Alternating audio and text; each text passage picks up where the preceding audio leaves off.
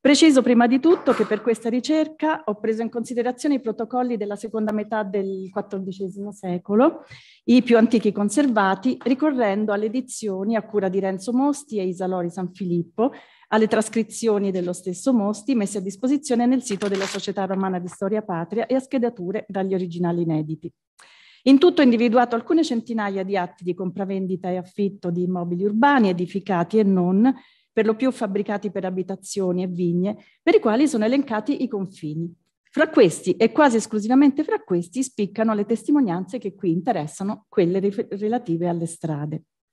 Punto di riferimento indispensabile per il periodo precedente, dal secolo X al XIII, è la sistematica ricerca sulla documentazione degli enti romani effettuata da Etienne Hubert, e importanti dati di confronto anche per il periodo immediatamente successivo eh, rispetto a quello toccato da questa ricerca vengono dagli studi sullo stesso tipo di documento realizzati da Giovanna Curcio, Anna Esposito, Jean-Claude Mervigueur, Anna Modigliani, Luciano Palermo, studi con i quali eh, si possono utilmente incrociare, come abbiamo visto ieri, i dati scaturiti dalle campagne di archeologia urbana. Siamo di fronte a un patrimonio documentario ben ridotto rispetto a quanto sarebbe dovuto essere se i protocolli notarili fossero giunti sino a noi in forma completa. Basti pensare che, come ricorda Cristina Carbonetti, di nessuno dei 15 notai romani del 300, dei quali ci sono state tramandate le imbreviature, si conserva la serie intera senza lacune per un certo numero di anni. E anche per la prima metà del secolo XV sono pervenuti relativamente pochi protocolli rispetto a quello che doveva essere il ragguardevole numero dei notai attivi, secondo quanto risulta da altre fonti. Le cause della dispersione, probabilmente assai remota, a dispetto delle misure prese dai legislatori sin dalla metà del secolo XV, devono essere state molteplici, dall'incuria al desiderio da parte degli eredi di un notaio di conservare i suoi scritti presso la famiglia, al fatto di essere in gran parte conservati nella sagrestia della chiesa di Santa Maria Naracelli, sito esposto ai disordini cittadini per la vicinanza eh, della sede del comune, e al fatto che dopo anni non, si, non occorresse più ricavare copie di un atto ricorrendo alle vecchie imbreviature, infine soprattutto al semplice caso la percezione del territorio da parte dei notai attivi nel periodo in questione è stata oggetto delle fini analisi di Jean Coste. Loro peculiarità era lo stile sobrio, con riferimenti stabili alla realtà quotidiana, in quanto si tratta di figure professionali ben consapevoli dello spazio circostante e inoltre capaci di un alto grado di precisione nei confronti della descrizione di ambienti urbani e paesaggi rurali, quando ritenuto necessario. Si tratta inoltre di personaggi radicati nella città, spesso impegnati in ruoli istituzionali come per esempio quello di Caporione, e quindi conoscitori della vita urbana sotto molteplici punti di vista, compresi lo spazio e i rapporti sociali. Il loro circuito di azione era legato soprattutto al rione dove si trovava la propria residenza, rione al quale appartiene di solito la maggioranza degli immobili citati nei rispettivi protocolli.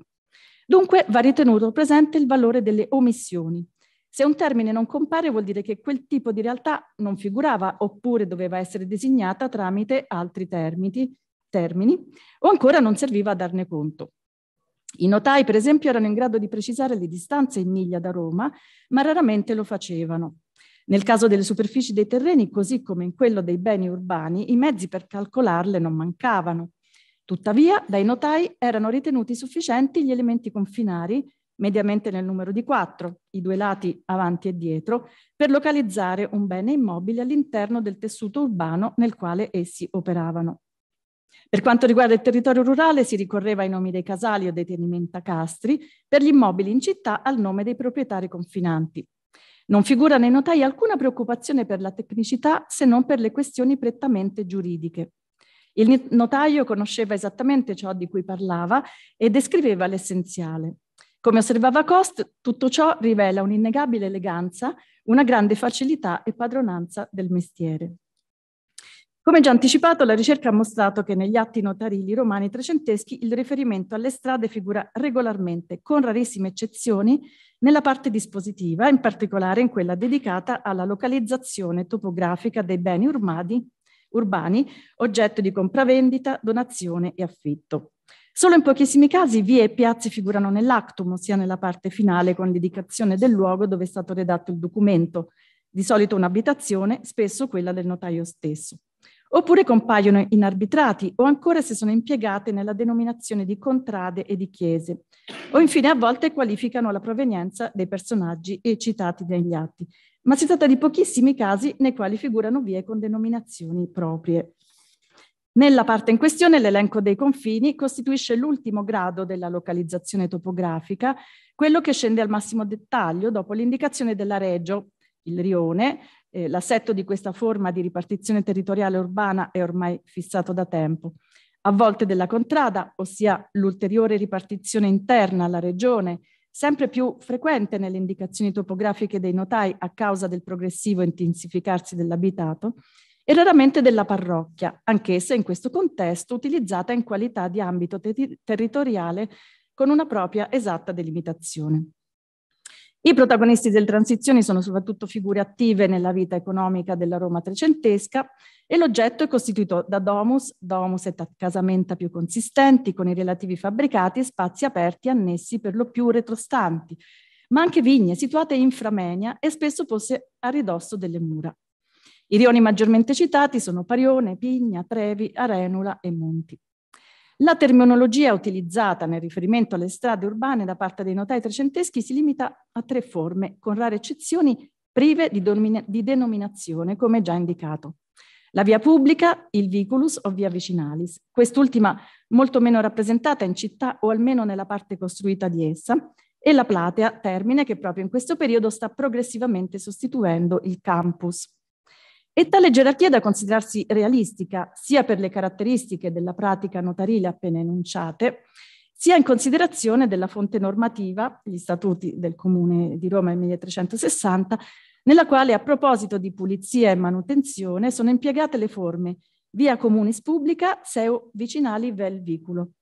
Dunque due tipi di tracciato lineare distinti in base all'uso pubblico o meno e anche alla dimensione per i vicoli infatti è indicata una larghezza minima di 4 palmi, circa un metro.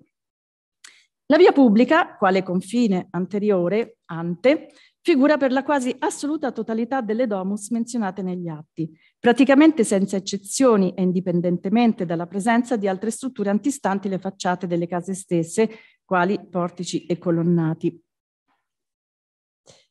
Come messo in evidenza dagli studiosi che hanno affrontato il tema della struttura degli isolati, il caso più frequente è quello che vede la serie di case affacciate sulla strada, case con forma allungata e dotate nella parte posteriore di uno spazio aperto, un orto che sarà poi sostituito da un cortile, quando non completamente chiuso con costruzioni. Questa forma di isolato nel 300 sembra mantenere le caratteristiche principali di quella delineata da Etienne Hubert per il periodo precedente. In alcuni casi le vie pubbliche costituiscono il confine su tutti i lati, quando domus et accasamenta manifestano una certa consistenza occupando l'intero isolato.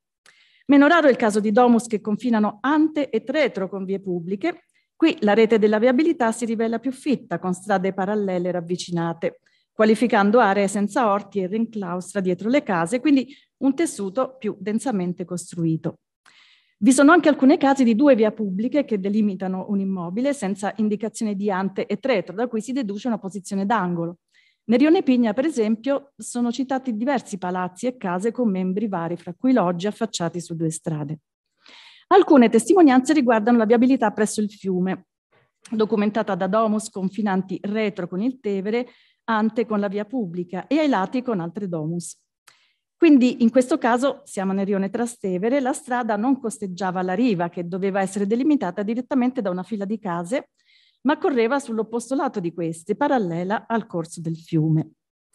Come noto dalle ricerche archeologiche e dopo quanto abbiamo sentito anche ieri da Michele Asciutti, anche i notai offrono testimonianze sulla presenza di servizi per lo scolo delle acque che si trovavano lungo le strade, ossia le chiaviche. Va sottolineato ancora che un reticolato di vie pubbliche appare ben presente anche in aree della città che in questo periodo erano caratterizzate dal non costruito, nelle quali dominava un paesaggio rurale, il che tuttavia non vuol dire abbandono o assenza di frequentazione. Le testimonianze in tal senso scaturiscono da alcuni fabbricati rurali, siti di servizio edificati in forma effimera, oppure particelle coltivate che sono ugualmente ben delimitate da vie pubbliche.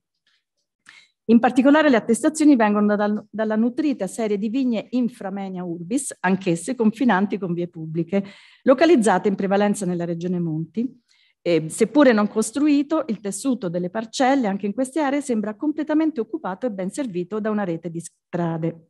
E a questo proposito mi ha colpito eh, quella parte a destra della pianta di Paolino da, da Venezia vista ieri, raffigurante un tessuto regolare ortogonale di isolati, probabilmente non realistici, ma rappresentativi alla luce della, ehm, delle menzioni appunto dei notai. Anche se meno spesso e per lo più nella documentazione più antica, tracce di questo genere si trovano anche nei rioni più urbanizzati.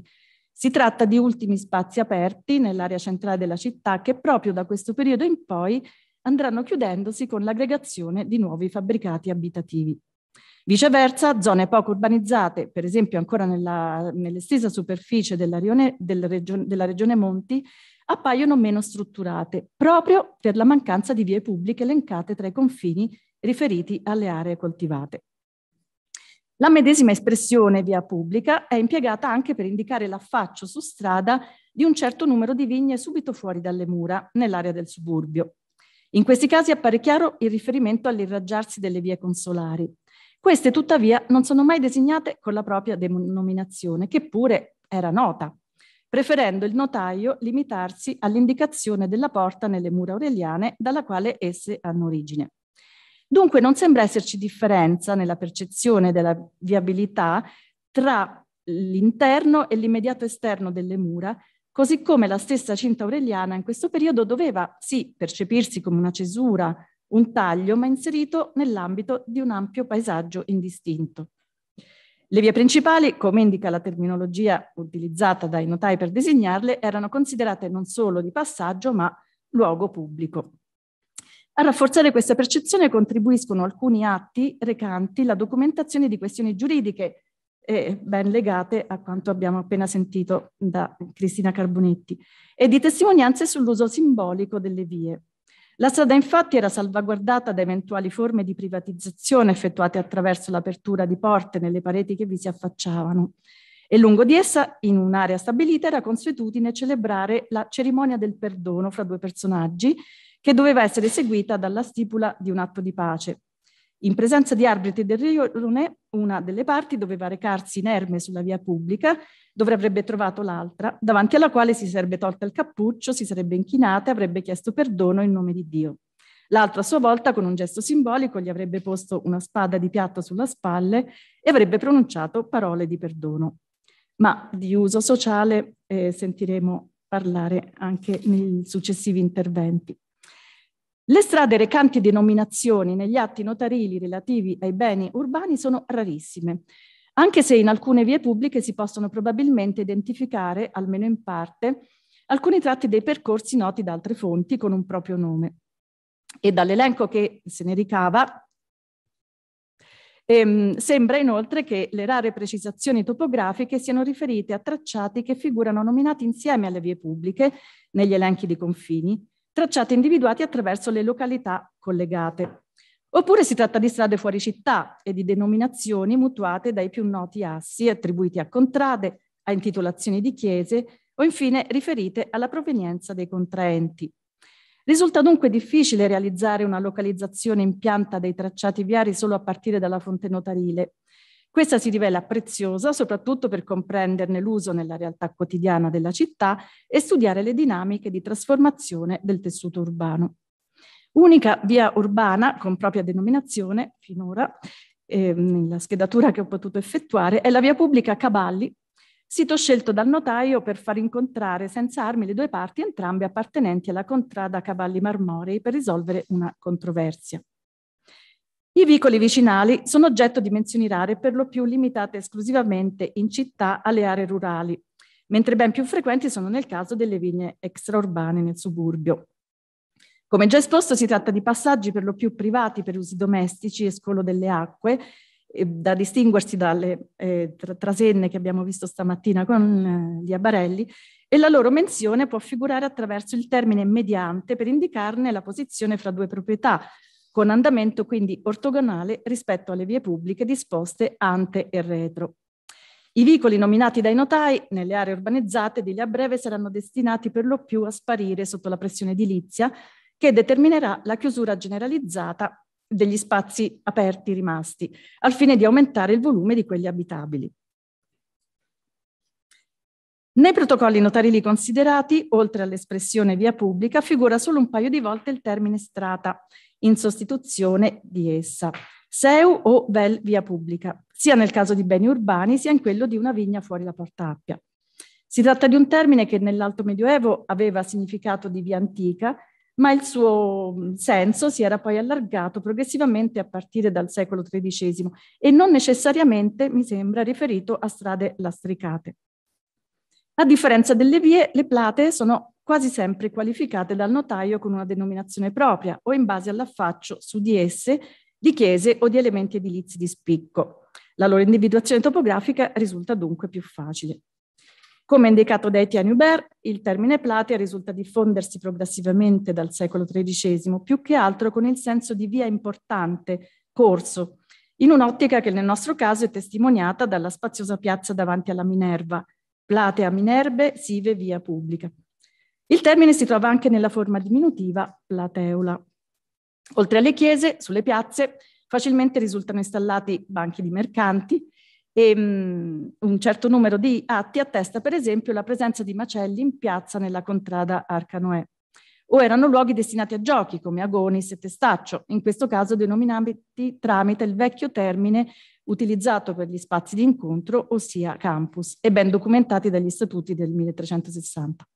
Un esempio è appunto il campus Agonis, che figura quale confine di Palazia e Casamenta, situati vicino alla chiesa di San Nicola di Agone nel Rione Ponte, insieme alla via pubblica et Platea, dove abbiamo un uso contemporaneo dei due termini che quindi in questo contesto sembrano riferiti a realtà diverse o almeno percepite tali. Anche nel caso della piazza disponiamo di una testimonianza sull'uso pubblico e simbolico di essa, in quanto sede di un arbitrato fra contraenti tenuti a presentarsi nella Plata Leombardorum, l'uno senza armi e l'altro armato di spada che dovrà colpirlo sulle spalle e pronunciare parole di rimprovero a mo' di pubblica riparazione. Trapela infine da alcuni atti un significato leggermente diverso di piazza, sia pure aperta al pubblico, ma soprattutto destinata agli abitanti di un complesso, un insieme di abitazioni pertinenti ad una medesima famiglia. Non si tratta comunque di un cortile privato, ma di uno spazio aperto sul quale esponenti del nucleo in questione vantavano alcuni diritti. I notai della, de, della Roma del Trecento, in conclusione, mi sembrano trasmettere un'immagine della rete viaria affine a quella studiata da Etienne Hubert. Fin dal secolo precedente, infatti, la città medievale è ormai definita. Come è noto, all'epoca dei più antichi protocolli notarili, l'area all'interno delle mura aveva già subito le principali trasformazioni del tessuto urbano, risalenti ai secoli XII-XIII. Trama del costruito ormai infittita, distinzione netta fra area abitata e disabitato sui colli a ridosso delle mura, struttura delle abitazioni in parcelle lunghe e strette con orto alle spalle e affaccio su strada. La rete delle vie, ormai in modo consolidato qualificate con l'aggettivo pubblica, si sovrapponeva in parte all'antica, seppure con aspetti innovativi per rispondere ai nuovi bisogni, e inoltre era oggetto di interventi che però risultano limitati alla manutenzione dei tracciati esistenti, non all'apertura di nuovi. Le recenti ricerche archeologiche, come abbiamo ben visto ieri, mostrano estese sequenze stratigrafiche con una serie di successivi piani stradali caratterizzati da alternanza di selciati, soprattutto battuti, acciottolati e abbandoni, stratificati fin dall'Alto Medioevo e con forme di continuità sugli stessi assi, spesso sino all'età contemporanea pur con gli adattamenti di quota. Per interventi più consistenti e innovativi occorre rivolgersi al periodo successivo con i papi quattrocenteschi, pavimentazione delle strade, progettazione di nuove, soprattutto secondarie, mentre le principali rimasero, mi sembra, in gran parte quelle di età imperiale. Si registrano anche cambiamenti negli equilibri degli orientamenti fra le direttrici del traffico urbano in conseguenza delle funzioni economiche. Inoltre ora sì, si aprono strade a, a cura dei papi cinquecenteschi che lasciano, loro, eh, che lasciano loro il proprio nome e riemergono anche antichi percorsi che erano stati interrotti o interrati. E tuttavia dal punto di vista della normativa viaria, Anna Modigliani osserva una netta continuità da parte dei papi quattrocenteschi nei confronti della difesa del suolo pubblico dalle ingerenze dei privati al fine di assicurare funzionalità e sicurezza alla viabilità urbana rispetto alla politica già messa in atto dal Comune romano, da Colla di Rienzo e, e da quanto prescritto negli statuti. Ciò che mi ha colpito inoltre è la consuetudine nei riguardi della denominazione. E, ehm, poche strade erano disegnate, designate con eh, un proprio nome, l'abbiamo visto eh, in queste giornate e anche eh, stamattina eh, con la relazione di Andrea Verardi. Ehm, e, e, non solo da parte dei notai, se non sbaglio anche nelle fonti narrative sembra che solo dalla fine del 400 si cominci a dedicare un paragrafo specifico alla descrizione delle vie e delle piazze. E anche quando queste compaiono nelle esposizioni relative al restauro e all'ampliamento da parte dei pontefici, figurano per lo più senza denominazioni proprie. Si vede che non era ritenuto necessario, si utilizzavano altri punti di riferimento nella maglia delle strade e delle piazze. I nomi delle strade si diffonderanno progressivamente, ma in modo sistematico si affermeranno solo più tardi. Penso per esempio alla descrizione del nuovo ripartimento dei rioni di Bernardino Bernardini nel 1744, a, a, allo stesso Nolli, al catasto urbano con strade e numeri civici recanti la corrispondenza esatta con le particelle. Del resto uno scandaglio sull'atteggiamento da parte dei contemporanei nei confronti delle strade in altre città, per esempio Terracina, Tivoli, Viterbo, rivela modalità simili per quanto riguarda sia la designazione